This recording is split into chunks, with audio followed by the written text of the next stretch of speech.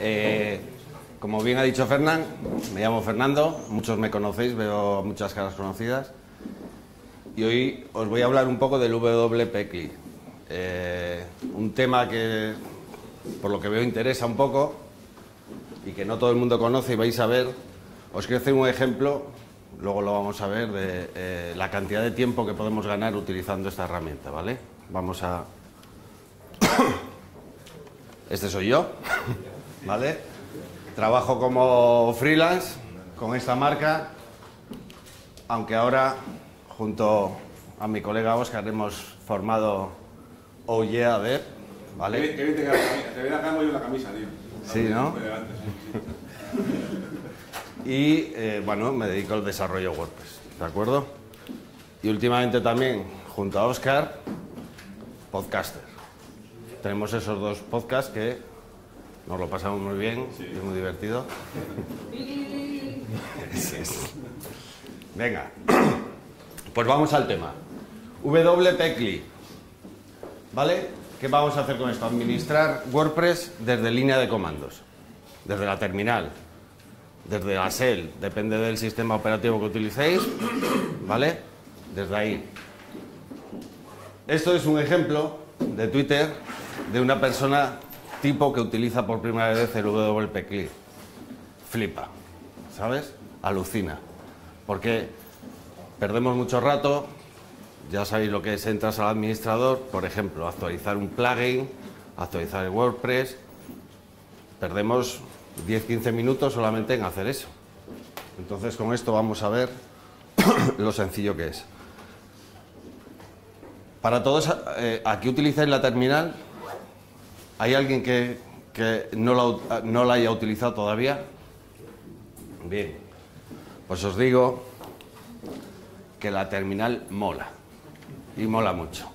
Ganamos mucho tiempo. Lo primero, si hay una cosa que, mm, uno de los detalles de esta charla que os deberíais de quedar es este, ¿vale? Quitar el miedo a la terminal. Muchas veces, eh, sobre todo cuando empezamos, nos ponen la pantallita negra y ya nos, echamos para atrás, ya nos acojonamos, ¿vale? Muy sencillo, nos va a ayudar mucho. La diferencia de, utilizar la terminal o utilizar eh, la web será algo así. Pasamos de ir con cachava a ser un ouya. ¿Vale? Bien, pues vamos a empezar por el principio. Lo primero, instalar WP eh, muchos servidores compartidos, perdón, ya viene el WP Click de serie. Yo creo que ya eh, la mayoría de hostings te lo, te lo traen de serie, ¿de acuerdo? Si tuviésemos, si no lo tuviésemos, si tuviésemos, si nos diesen permiso, lo podemos instalar de esta manera. Simplemente se descarga y le damos permisos para que se pueda ejecutar y lo renombramos a WP. ¿Vale? Esto eh, el proceso este es siempre igual y la primera vez. Así lo instalamos. Una vez que lo instalemos, aquí que lo hemos renombrado a WP, todos los comandos que lancemos con WP click siempre será WP y el comando. ¿Vale? Los comandos de WP click tienen esta estructura el WP, que es para indicarle que vamos a lanzar el comando, el nombre de comando, subcomandos y luego parámetros y eh, flag. ¿Vale? Son todos iguales.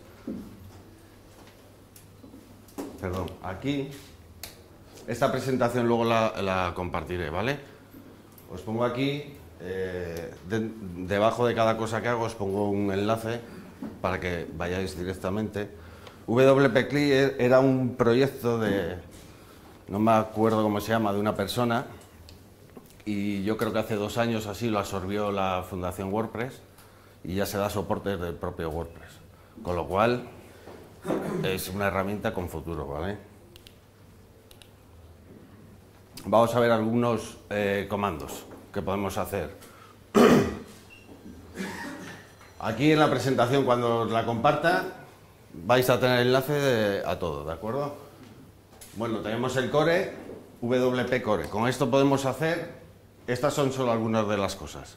Está toda eh, la información en, la página de WordPress, ¿vale? De WP. Podemos descargar, instalar, podemos hacer multisitios, actualizar, comprobar si hay actualizaciones y convertir un, un sitio en multisitio. Algunas de las cosas. ¿eh? Hay muchas más. Otro comando muy utilizado es el del plugin. Podemos actualizar plugins, instalar plugins, desactivar, desinstalar, todo desde línea de comandos, sin tener que estar entrando al administrador, búscate el plugin, no sé qué, todo desde aquí. ¿Vale? También operaciones sobre la base de datos. Crear base de datos, exportarlas, ejecutar queries, optimizar, todo desde línea de comandos. Esto ni desde el administrador de Word lo podemos hacer, por ejemplo. Luego, ah, luego, luego eh, mirad, aparte de los comandos, el WP Click trae mogollón de comandos, que os, repito, id a la página y lo echáis un vistazo. Luego tenemos los paquetes. Los paquetes para WP Click es algo así como los plugins para WordPress. ¿Vale? Eh, los paquetes los hace la comunidad, la gente, vamos. Cualquiera puede hacer un paquete, que es hacer un comando nuevo en realidad, que puede hacer varias cosas. ¿Vale? En esta dirección tenéis el índice de, los paquetes que están hechos. Vamos a ver ahora un ejemplo. Esto es cómo se instala. Paquete, instalar y el nombre del paquete. El nombre le sacamos de donde está eh, la página. Mirad, vamos a hacer una prueba.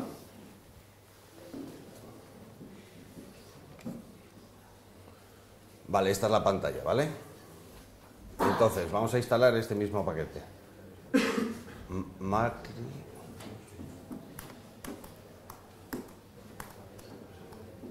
Esto que estoy haciendo y lo que voy a hacer es lo que dicen que nunca se debe hacer, que es en una charla ponerte a hacer cosas. Pero bueno, como nos gusta el riesgo...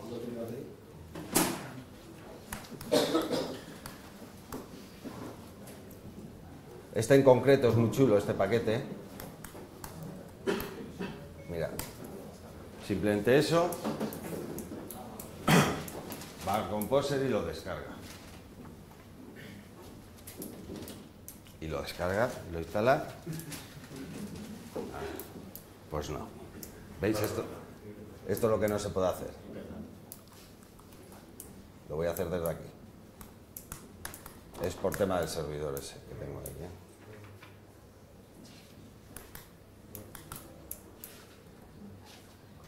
Pues nada, no hay manera.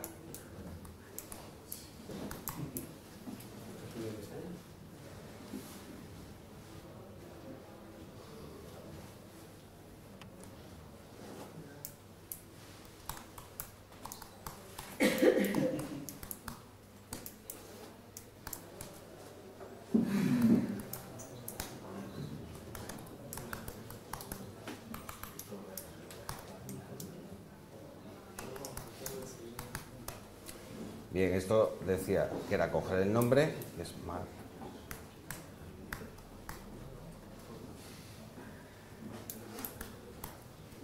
Es por hacerlo, por haceros una, una demo de lo que hace.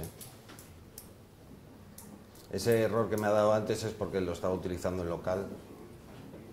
Vale, este sí. Y ya está, simplemente. Este en concreto os lo voy a enseñar porque está muy chulo. Se lanza con el WP y el nombre del comando.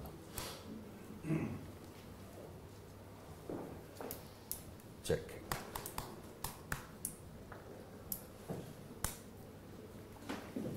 Este, este, en nuestra instalación de WordPress se conecta con la base de datos de WP Vulnerability, se llama, para ver si tenemos algún tipo de vulnerabilidad en nuestra instalación. Aquí nos dice la versión que no hay nada conocido, los plugins, está guay, ¿vale? Esto está muy bien. Y si administráis instalaciones de WordPress, con lanzar esto en, tus instalaciones puedes eh, ahorrarte muchos problemas. ¿Vale? Bueno, pues eso, instalar el paquete. Otra función muy útil. Bueno, estos son algunos ejemplos de paquetes que hay. ¿Vale? Ya os digo que ahí vais a poder encontrar todos. Este que hemos visto ahora está, muy bien. Y luego, pues, eh, el de las queries está muy bien. Te da información sobre las queries de una página en concreto, por ejemplo, qué queries está haciendo. Eso está, está muy chulo.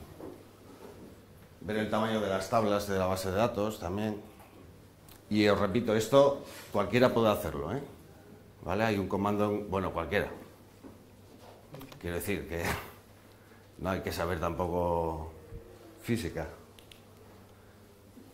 Otra cosa que utilizo muchísimo y cuando empecéis a manejar el WP CLI lo veréis es las migraciones. Creo que todos habéis levantado la mano, la mayoría nos dedicamos a este tema y sabéis la movida que es cuando tienes que hacer una migración a otro servidor, de una web a otro servidor. Cógete la base de datos, cógete los archivos, llévatelo al otro lado, cambia todas las referencias a la URL anterior, bueno, y suele fallar además. Suele fallar, el servidor no funciona, el FTP es una mierda.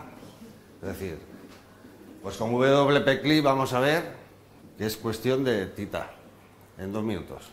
Mirad, os digo un poco cómo sería una migración con WP CLI. Hacemos un backup de la carpeta WP Content, que es la que tiene el contenido, temas, plugins, eh, uploads, todo esto. Hacemos un backup de eso y con el comando de WP CLI, el db export, exportamos la base de datos. ¿Vale? Con eso está. Eso es en el sitio origen, ¿vale? Y luego hacemos una serie de comandos en el sitio de destino. Descargamos el WordPress, creamos el WP config, creamos la base de datos en el caso de que no estuviese creada, instalamos el, el WordPress. Esto, como el WordPress cuando te lo instala, te crea el WP Content. Aquí lo que hago es renombrar ese WP Content, ¿vale? Para meter el mío. Posteriormente, descomprimo ese, ese backup que teníamos importo la base de datos, todo esto es WP Aquí tiene un comando súper útil que es Search and Replace, que ahí es donde nos cambia la base de datos todas las referencias de la URL antigua a la nueva. ¿Vale? Bueno, y esto ya, eh, el tema de los enlaces permanentes y tal. Con eso ya tendríamos la migración hecha. ¿De acuerdo? Ahora, eso sí, es un poco coñazo si tienes que escribir esto cada vez que vas a hacer una migración en realidad. Entonces, ¿por qué no automatizar esto? ¿Cómo vamos a automatizar esto? Pues muy sencillo. Vamos a hacer dos archivos SH. Son eh, eh, por lotes, ¿no? En Windows se llamaban los BAT, me parece que son en Windows. ¿Vale? Entonces, creamos un archivo, que aquí tenéis un enlace a GitHub, por si os le queréis descargar ya hecho, ¿vale? Entonces, creamos un archivo con esos, con esos comandos, el exportar. Y luego, creamos un importar SH con esos archivos. Y con eso ya estaría, ¿vale? Vamos a verlo. No sé si os estoy metiendo mucha paliza o, Vamos a imaginar que tengo una tienda online, ¿vale? Una tienda online que hay que exportar de sitio, ¿de acuerdo? Esta tienda online, aquí tengo, bueno, los productos, normal y corriente, y tengo un pedido también aquí. ¿vale? O sea, una tienda funcional. Entonces, esta, que es esta de aquí,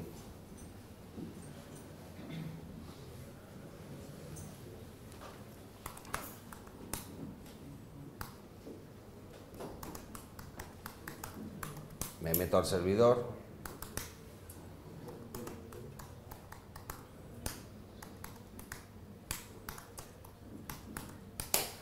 ¿vale? Lo que tengo que hacer es subir al servidor de origen el exportar.sh, es el primero que hay ahí. Y lo lanzo. SS, SH.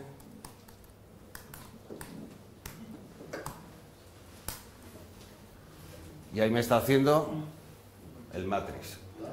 Este es el matrix. Pero tendrás que cambiar o parametrizar el nombre de la base de datos. Sí, luego. En, el, en, en este archivo exportar no, porque lo único que estoy haciendo es comprimir en un archivo los y exportarme la base de datos, nada más, ¿vale? Esto lo que me genera son dos archivos que están ahí, aquí arriba, el bdlocal.sql, que es la copia de la base de datos, y el, y el backup.tar, que es el WP content, ¿vale? Está en el servidor de origen. Esto luego te lo descargas. O bien desde línea de comandos con el SCP. No sería más fácil entrar, de- ya que estás en el comando, te vas al otro, pones los archivos que optimizas.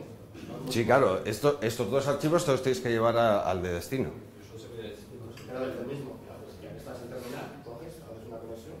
Bueno, también, sí, sí, claro. O sea, te lo llevas al otro lado como, como quieras. ¿Vale? Y el otro lado tengo esta web. Esta web, que no hay nada. ¿Vale? Está aquí, no hay nada. Que esto acojona mucho al cliente también cuando le enseñas esto. ¿Qué has hecho con mi web? Entonces, esta es esta. El servidor de destino ya lo he copiado. Y tengo, si veis, el BD local, el backup y el archivo importar. Este archivo importar.sh le podéis modificar, lo podéis editar y aquí le cambiáis. Aquí sí que tendréis que cambiar en el Search and Replace, tendréis que cambiar las URLs por las que correspondan. O puedes crear, o puedes crear variables de... O puedes crearlo, puedes, exactamente, que se lo pida, tú lo lanzas y que el usuario escriba la URL, ¿vale? De cualquiera de las dos formas. En el, en el GitHub ese, donde está enlazado esto, yo creo que tengo ahí un archivo, también SH, que se llama superinstalador o algo así, que te hace eso. Te va pidiendo la URL, el admin, el no sé qué, todo eso. Y al final te lo instala. Vale, pues entonces con esto. Lo lanzamos. ¿De acuerdo?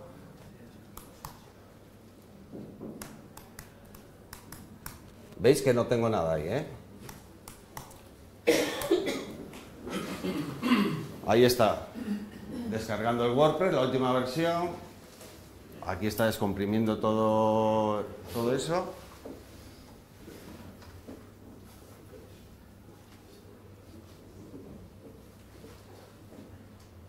Haciendo el and replace de la base de datos. Bueno, y esto pues, lo podía haber quitado, pero esto es de rege- regenerar las, las imágenes, ¿vale? Y ya está. Ya hemos hecho la migración. Ahora, en dos minutos la migración, ahora vamos aquí. Y ahí está. Y esto el cliente lo flipa. Y tú más. O sea, mirad lo que hemos tardado. Dos minutos en hacer... Claro, no tiene mucha cosa esto. Tiene... Es una... Bueno, es un WooCommerce con... Pero... Si la base de datos ocupa más, evidentemente, o si tienes muchas imágenes, tardará más. Sí, ha acabado prácticamente. Ha dado un 10.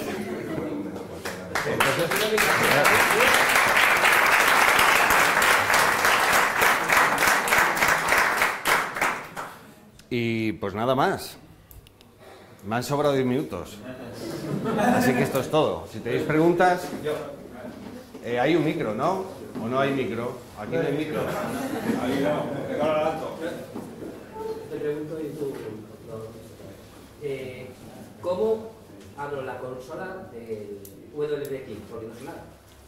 Por terminal, mira. Sí, sí, es decir, Bueno, aquí hay que diferenciar entre eh, Mac y Windows, ¿vale? Son- pero yo te lo digo en Mac, que es lo que tengo aquí, ¿de acuerdo? En Mac tienes la terminal, El terminal, el- el terminal, ¿vale? Voy a desconectarme de aquí, espera un poco y te lo... Te conectas por SSH. Los datos del SSH el servidor te lo tiene que, que decir, ¿vale? SSH hay dos formas. O, o tiene, hay un archivo en, en el Mac que es de host, el host, que es donde puedes ir metiendo, o si no, con una key, una llave para el SSH. Entonces, aquí lo que hago, SSH, y se conecta así. Déjame que me acuerde el usuario. Arroba y el servidor. Como ya tengo la, la llave metida en el sistema. Ah, no, espera. Por defecto te conecta con el puerto 22. En este caso me conecto a uno de SiteGround, que el puerto es 18765. Pero eso te lo, te lo dice el, el servidor, ¿vale? Y ya está, ya estoy dentro del servidor. Aquí con comandos de Linux, pues el ls puedes ir. Y eso ya. Y en el caso de, pues este caso de SiteGround, como muchos hostings, como la mayoría, ya te vienen instalado el WP CLI, o sea que, que, te, que te viene instalado, porque eh, me parece que eh, en ninguno, casi ninguno, hosting compartido, tienes eh, derecho, tienes acceso para poder tú instalarlo. O sea, te tienen capado porque, por seguridad, vaya. Yo he visto en casi todos los servidores que de clientes ya existe la carpeta WP. Sí, sí, te digo que yo creo que, que todos ya, sobre todo los que orientados a WordPress, ya lo tienen instalado. ¿Vale? ¿Qué más había por ahí? Dime. Actualmente se conoce, si, si tú lo pones, eh, hay exploit conocido, compromete tu seguridad en el WP, el Mm, WP Que yo sepa, no. Puesto, no se conoce ninguna vulnerabilidad conocida. No Algo. sé si aquí alguno, que yo sepa, no. Aquí el, el- el amo de la seguridad es aquel. Pero Tomás no está aquí, ¿no?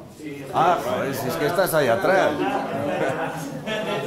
Que no sé si hay algún, algún tipo de riesgo de seguridad de exponer la- o de aumentar la superficie por poner este tipo de crímenes del lado del servidor. En principio no, porque al final es una herramienta que se ejecuta en la, en la propia máquina. Al final no requiere ningún permiso administrativo de root ni nada para poder ejecutar. Además, incluso cuando el, el WordPress click, cuando lo intentas ejecutar como root, por defecto no te No deja, tienes que Sí, como- tienes que poner el, el allow, allow root.